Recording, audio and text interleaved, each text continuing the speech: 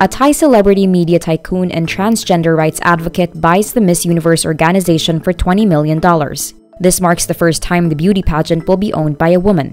Jakkaphong Ann Jakrajutatip is CEO and biggest shareholder of JKN Global Group. Ann is a celebrity in Thailand, starring in local versions of reality shows Project Runway and Shark Tank.